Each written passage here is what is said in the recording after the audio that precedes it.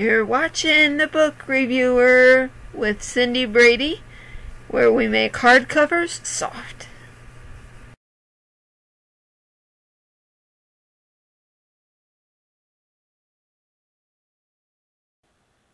Hello, and welcome back to another episode of the book reviewer with your host Cindy. And I have another book review to share with you guys. So, as you guys probably already know, I am reading and reviewing the series by Beverly Lewis called Home to Hickory Hollow.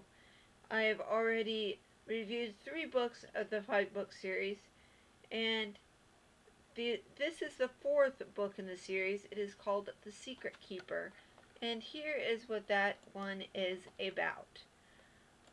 So, um, there's this woman. Her name is Jenny Burns, and she has been told from an early age that she is an old soul and she loves things that are old fashioned and there comes a point in her life that she is not happy with the way things are.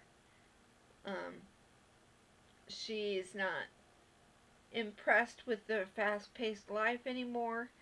She is, she loves the simple life. And no one is prepared for the, the young woman's decision to set aside her modern life in favor of the old order Amish world. Yet Jamie does exactly that, adapting, adopting plain dress and setting with Samuel, Samuel and Rebecca Lapp while she works as a mother's helper for the bishop's wife, a far cry from her former job as an x-ray technician. The people of Hickory Hollow are curious about this beautiful young seeker among them, one handsome Amish man in particular. But he is not the only one vying for Jenny's affections, and Jenny faces the many challenges in the proving time the brethren have set for her, challenges of the heart as well as the spirit. Will Jenny's secrets keep her from the peace she longs for, or will they lead the way home? So, um, obviously this is a change for her. Um, the Amish are pretty old fashioned, like I said before. Um, they travel by horse and buggy. They don't, they have like a community phone. They don't use it very much. Um, they some of them have cell phones, some of them don't. Um, they work on the farm they obviously have to learn how to do all kinds of things um, depending on what their family dynamic is. Because if this lady is a widow, then maybe neighboring farms might help out with the plowing or other things. Um, so this is a gigantic switch for her and as the other books in the series, um, I mentioned that they speak Pennsylvania Dutch, but in this book, I found out that they have German words as well. And luckily for her, Jenny, she took a couple years of German in high school, so she already knew some, but she didn't know a lot. And the older you get, it is harder for a, a, a person to learn a new language. And she's having to speak to everyone in English, but she's picking up words here and there.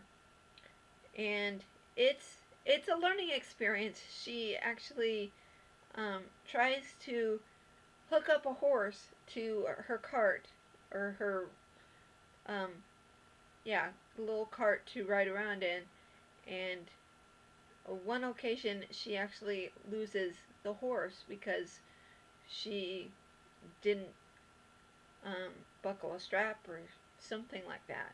And she gets discouraged sometimes, but it is a great thing for her because she gets to experience life before cars, life without a cell phone and just getting really down back to the basics of surviving and thriving in this new Amish community. So this book is 270 pages.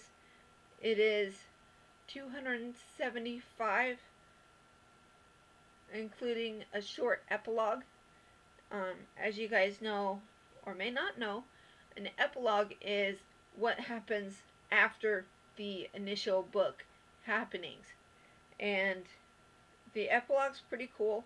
Um, it's 279 pages with everything because some authors do author's notes on the book that they want their readers to know about, you know, who helped them or who they were grateful for during the whole book writing, publishing process.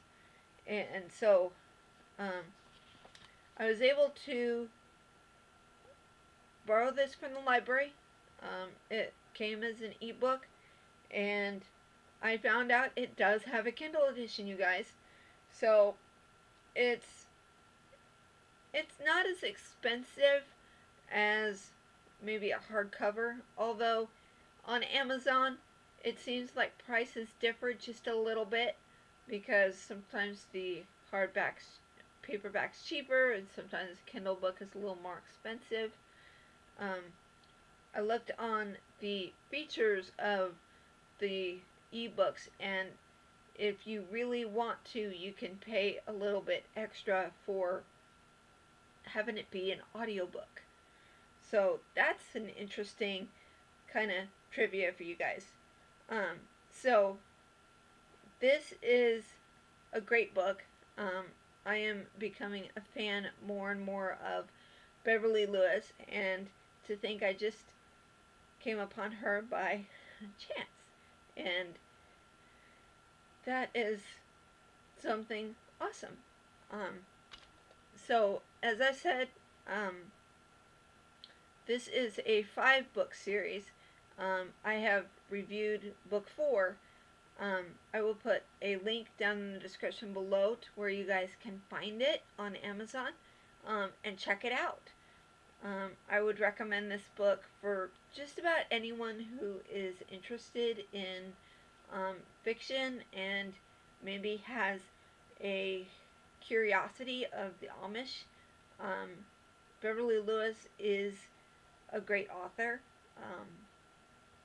So I think you guys should check it out and tell me what you think.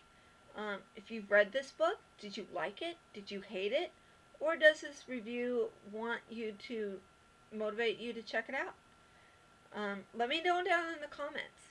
Um, have you read any books by Beverly Lewis? Do you want to? Um, let me know. Um, I think that's all I have for you today. Thanks for watching, you guys. Thanks for subscribing. Keep reading. Don't stop believing. And we will see you again tomorrow with another book review. Bye, guys!